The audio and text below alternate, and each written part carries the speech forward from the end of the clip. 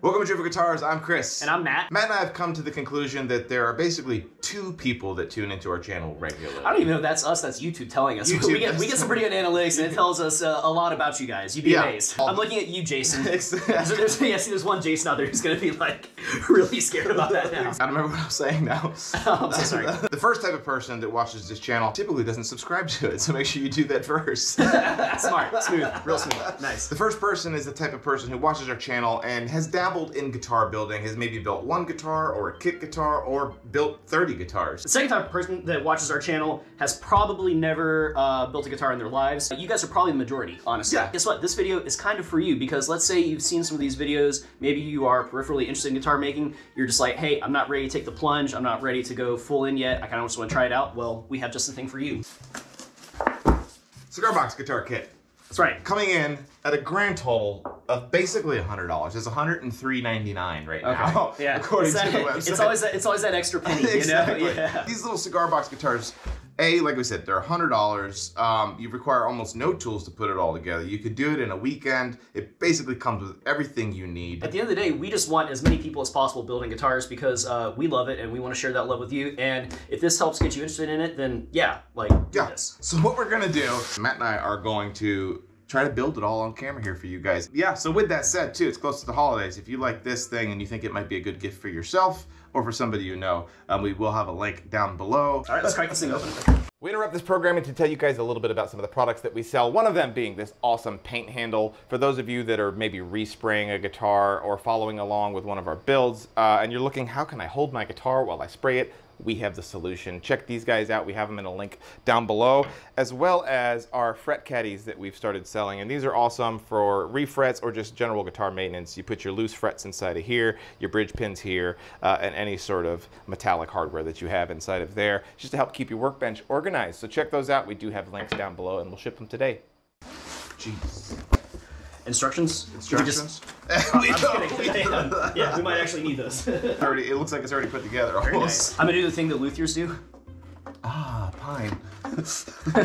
okay, so it sounds like the first thing they're asking us to do, and a lot of folks probably at home would skip this step. They're asking us to go ahead and make sure that we hammer these frets uh, and get them perfectly level, and then we're just gonna do a fret level. But Matt and I aren't gonna do it if we don't have to. but Yeah. with that said, we're not gonna do it, but we're gonna check with the proper tools first, right? Like, Yeah. And if you're at home and you decide that you you know you want to do one of these kits and you don't want to do a fret level, you, you, you're probably gonna be able to get away with it. Yeah, yeah, we're good. We're not doing a fret level, so we can actually skip the whole preparing the neck section. We're gonna skip to building the body uh, and starting to put this bad boy together. And I think that this is what needs to happen. Is this goes like this. I'm doing the thing where I don't even like. I just look at the pictures. And, and we'll follow the instructions just for the placing of these screws. Why not, right? Uh, Yeah. Which is one and one eighth and nine sixteenths. Oh, God, all right, fractions. Matt knows I hate I hate fractions. So I see. So here. it's coming in. It's going there yeah, and there. Nice. Is that seated? Yeah. Right.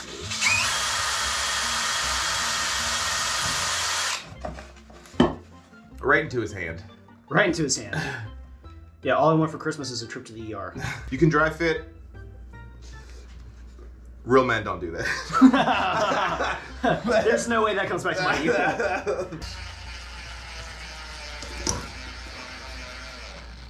Gentle light. this is a really fun little project to do, especially if you've got like little ones who are of an age where they're interested and kind of like into guitars or just interested in making things. Yeah. I know that for me, all it took was kind of the realization of like, oh yeah, I can build a guitar. Mm-hmm. You know, I, it wasn't even on my radar. And then one day, the idea of building was like presented to me as like, oh yeah, I was in my twenties. Oh wow.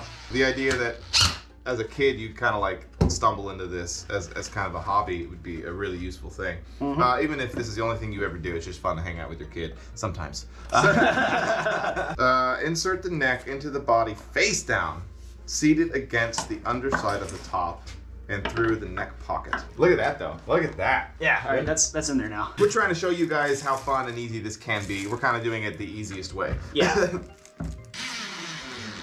okay. I feel like we're good there. We can turn Yeah. the page. Like Bob Seger. Exactly. Yeah. Okay, so now we're gonna do fitting the hardware and electronics. So here's what's crazy, right? All we gotta do is run our four screws on the back of here, and physically, this entire instrument is now put together at this point. Um, Wow. like that. That happened fast. Yeah, structurally, we now have our cigar box guitar basically in place. Everything moving forward now is going to be tuning machines and pick up install. Oh wait, and wait for it. Look at them fellas. Look at Ah, them. yeah. like, hey, who does that look like? So three tuning machines. These are open gear tuning machines. You don't have to do this, obviously, but anytime you're running screws into a uh, that you want to eventually be able to remove, if you have some sort of, we use uh, this chunk of beeswax that we have. You can use a candle. Uh, and everybody's typically got at least one candle in here. I prefer uh, like a nice pine scented one. right. But no, you, you're gonna take your screw and just put a little bit of wax on the threads. Um, it- and it can make a huge difference in how much, how A, how easy the screw runs in, but also you won't break screws because we've broken screws, especially cheap screws on a kit like this. is probably not the highest quality screws in the world.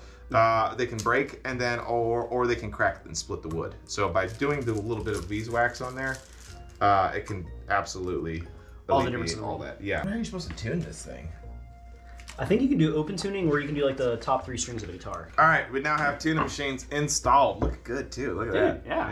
Yeah. Um, another thing that's kind of fun. It's not advertised in here, but if you wanted to, this is laser etched. You could like sand that off Uh-huh. and put your own little logo up there. Should, should we do that? Should we stand and put our own? just put driftwood. I'm gonna do that. Hang on. Just- Put James. There we go. there it is. Boom. All right. You ready? Here. We give you a nice sweep like that. Uh, Uh huh. And then like that. Optional step. You don't have to do this, but we did. okay, so now what? So we're gonna do the nut install now.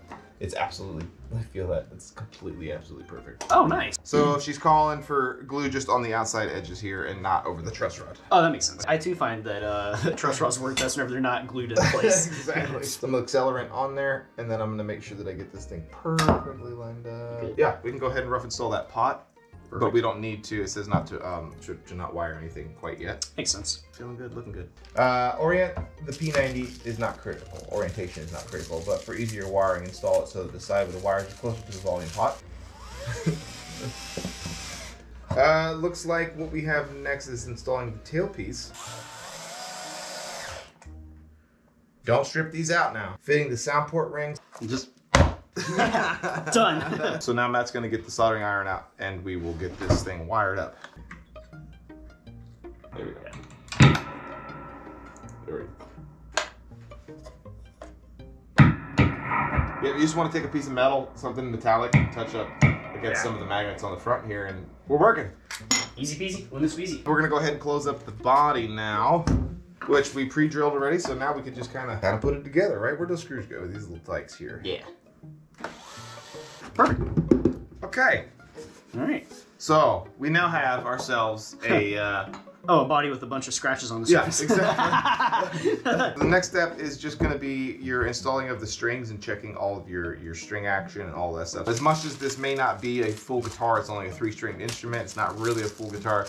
Uh, but doing a kit like this, as Matt makes all the racket, doing a kit like What this, hang on, Matt, seriously, you're still going to learn some really, really useful skills. Those those initial uh, fret leveling um, steps that were at the beginning of this that we didn't do, um, and then this part, which is the the stringing up and getting all that dialed up, dialed in, and set up. They're all going to be very useful skills for you when you do, hopefully, your second guitar build after this one. The bridge is really cool. It's just this. Uh, this little block of wood, and then we're gonna put. It looks like a quarter twenty uh, threaded bolt that's gonna go on here. Okay. And then the strings are gonna come up through here, and then up and over, and that's Perfect. That's kind of the whole shebang there. Yeah. Follow the steps in this book if you don't have the tool that I'm about to get. yeah. The step to finding the bridge location super important. Um, bridge location is going. If you don't get it in the right spot, you're gonna have crazy intonation issues. Bridge location is determined by scale length, and all that scale length is is the distance between the nut and the 12th fret times two. What they're calling for in the instructions here is using a straight edge and measuring that distance and marking it and then extending that distance out this way. You don't need this tool. We have this tool. This is a saddle locating uh, tool that we have. So we're gonna use it instead. Once again, you don't need it though. So this is just gonna make our work a little bit easier. And then we're gonna flip it around. All right, so we got that marked. This should all be pretty much dialed in. The, the height of this block too should be set up so that when we run the straight edge on here. Our action's actually gonna be pretty high if we were to do that. So what we can do if we want to is I can actually remove the thickness of the material under here, uh, underneath this wooden block so that when we put the strings on it, that the string action's actually usably lower. I have um, gone ahead and sanded off some material up here, and now when I set the uh, the bridge and saddle on this cigar box guitar, I'm getting the string height that I want, probably plus just a little bit. I'm actually just kind of using my eyeballs here, nothing absolutely crazy. I did check it; it does look a lot better. It was at like 140 thousandths, um, and now we are at uh, 110. So it's just a little higher than than I would normally do it, but I feel really good about it. So yeah, we'll have Matt uh, kind of get the ball rolling here.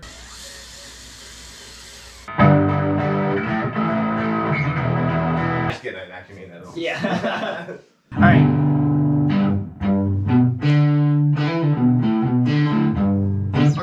This thing strung up. We've got the bridge in place. I did actually need to lower it a little bit more. Um, I checked with my, um, I checked with the, Nice. with the, um, the nice, a nice tuning, a nice tuner to check my intonation, and then adjusted this accordingly to get it so that we're in tune in the open position on the 12th fret. Yeah. Uh, you know, it's cool, man. It was a fun little project, and we ended up.